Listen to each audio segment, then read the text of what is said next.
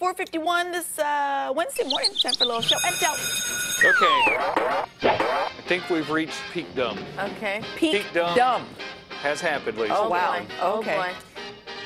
The Golden State Warriors Yeah. Okay. are now offering. Now, this is on paper. Okay. This might seem like a in great print. deal. Okay. $100 passes, $100 a month passes to be in the building to see some of the greatest athletes of all time, some of the greatest teams of all time. Wait. $100 passes. You could be in the building. So you pay Where $100 a month and I come in every game or one game or. Uh, well, there's several games. Uh, The problem is uh, it's an obstructed view. So, oh, I see. so you get to go in the building. Okay. Huh. Okay. You watch on the screens. That Yes, are in you can pay for parking, and then you can go to one of the mini bars and watch it on the television. Uh-huh. So you can say you were there, But you can't put your butt in a seat. but you can't actually see the game. It's I called the. Building Pass Oh. uh, to Oracle Arena. So November subscriber dates, you get uh, Oklahoma City. Well, that would be exciting not to see. Right.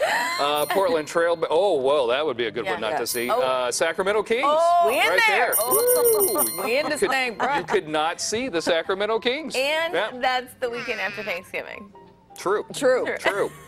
You're right. Now, one good thing about this pass is uh, if you're one of the first 10,000 when they give away stuff, Yes. Uh-huh. you can get in early, so you could actually get the bobblehead Oh, or whatever. oh, so that's there is a Splash. Brothers bobblehead night Okay. uh, on November Monday, November 26th versus Okay. the Orlando Magic. Another team, great not to see. Right. Um, but uh, you have to call and, and get the thing. So you. Um, uh, on club level 200, there's a bunch of TVs. Apparently, you can go up there and watch. Uh-huh. Okay.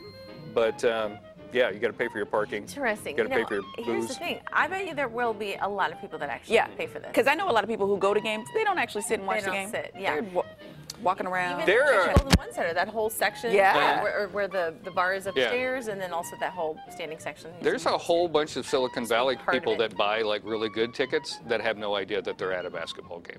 Right. Have you noticed that? They're I all sitting on their phones. yes. and like, true. what- Lakers games used to be like Wait, that could too. you guys keep it down down Yeah. there? Because the, the dribbling is really Yeah. hard for me to play Candy yeah, Crush. That's true. All right, so I'll tweet that out if you're interested in $100 a month not to see the game. I ain't gonna lie. If I lived in the Bay, I'd do it. a couple's engaged.